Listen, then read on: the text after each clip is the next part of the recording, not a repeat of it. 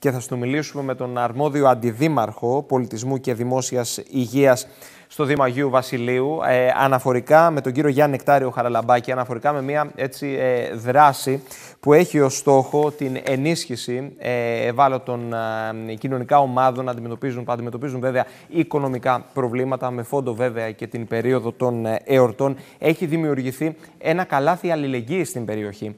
Πάμε να συνομιλήσουμε λίγο με τον αρμόδιο αντιδήμαρχο, τον κύριο Χαραλαμπάκη. Να σας ευχαριστήσω θερμά κύριε Χαραλαμπάκη.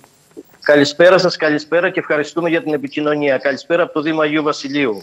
Λοιπόν, να ξεκινήσουμε και να μας ε, δώσετε έτσι το μήνυμα το οποίο επιθυμείτε να προκύψει και να βγει προς τα έξω με φόντο και τη δημιουργία του καλαθιού αλληλεγγύης στο Δήμο σας. Βεβαίως, το καλάθι αλληλεγγύης ξεκίνησε από δύο προέδρους τοπικών φορέων. Είναι από την ε, πρόεδρο του Πολιτιστικού Συλλόγου Κοξερές στην Ελένη την Περαντονάκη και από την πρόεδρο του ομίλου του ποδοσ... της ποδοσφαιρικής ομάδας Πηλίου, την κυρία Ελεάνα Λεντιδάκη και δημιουργήθηκε αυτό το καλάθι αλληλεγγύης για να βοηθήσει ανθρώπους που στις δύσκολες μέρες που βιώνουμε έχουν ε, περισσότερη ανάγκη. Είναι άνθρωποι που έχουν μείνει άνεργοι, πολυμελείς οικογένειες ή μοναχικοί άνθρωποι που τα χρήματα που παίρνουν δεν τους αρκούν για να μπορούν να βιώνουν έτσι ε, αξιοπρεπώς. Γι' αυτό δημιουργήθηκε το καλάθι αλληλεγγύης και ο Δήμος μας το αγκάλιασε αυτή τη θεόπνευστη η ενέργεια των δύο κοριτσιών και μέσα από αυτό ξεκινάει ο, ο εθελοντισμός, ο πολυθεματικός εθελοντισμός που θα δημιουργήσει ο τομέας πολιτισμού του Δήμου Αγίου Βασιλείου για να αναπτύξει δράσεις που θα αναδείξουν όλο το πολιτιστικό απόθεμα που διαθέτει ο Δήμος Αγίου Βασιλείου. Θέλω να ευχαριστήσω δημόσια αυτές τις δύο κοπέλες που είχαν αυτή την πρωτοβουλία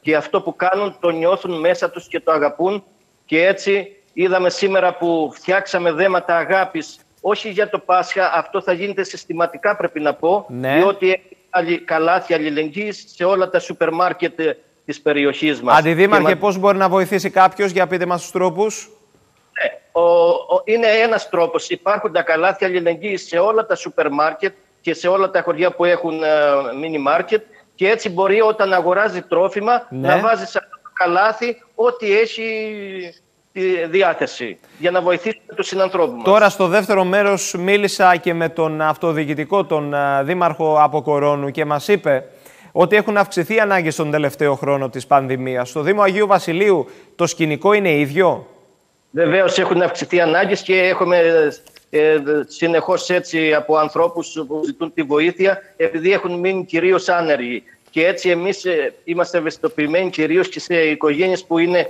νέοι, άνθρωποι που έχουν μείνει άνεργοι χωρίς δουλειά και χρειάζονται βοήθεια που έχουν ε, παιδιά. Το ίδιο και σε ανθρώπους που είναι μοναχικοί που δεν έχουν βοήθεια από δικούς τους ανθρώπους ή από κάποιο, ο, κάποια άλλη βοήθεια. Εμείς λοιπόν δεν θέλουμε κανείς να νιώθει μόνος στο Δήμο Αγίου Βασιλείου και γι' αυτό αυτή η προσπάθεια συμβάλλει σε αυτό καθοριστικά. Μάλιστα. Να σας ευχαριστήσω πολύ. Καλή Ανάσταση να έχετε. Με καλή Ανάσταση σε όλους. Σας ευχαριστώ πολύ. Λοιπόν,